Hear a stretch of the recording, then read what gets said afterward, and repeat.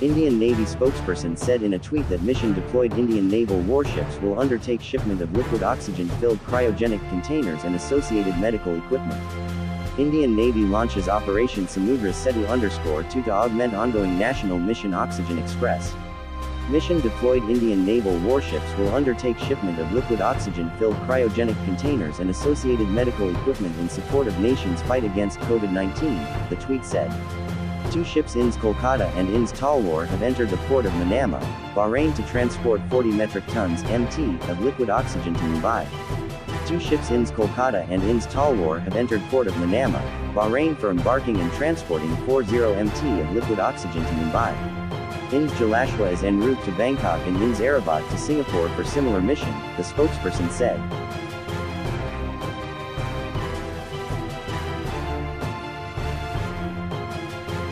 The Russian Navy for the first time test-fired a supersonic anti-ship cruise missile in the Black Sea, the military announced Friday with tensions still high following Russia's troop buildup near Ukraine.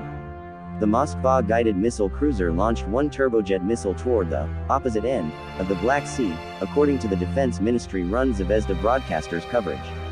A drone spotted the wreckage of a simulated enemy ship 100 seconds later, it added. These missiles are the reason why our cruiser is called aircraft carrier killer, a Zvezda correspondent said from the deck during the launch. The Black Sea Fleet's Moskva missile cruiser for the first time in recent history fired the Vulcan missile with the ship's Basalt main missile system in the waters of the Black Sea, the defense ministry tweeted. The P-1000 Vulcan is an improved version of the Soviet-era P-500 Basalt missile with a reported firing range of 800 kilometers, compared to the Basalt's 550 kilometers. The Zvezda correspondent said the Moskva had previously deployed its missile systems only during long-haul missions.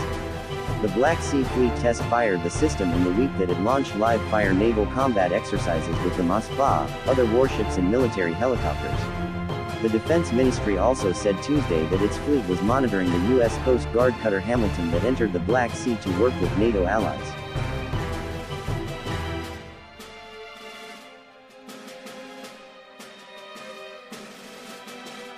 The U.S. has kick-started the process to sell six more P-8 maritime surveillance aircraft to India with the Pentagon's Defense Security Cooperation Agency notifying Congress of the possible sale on Friday, the 30th of April.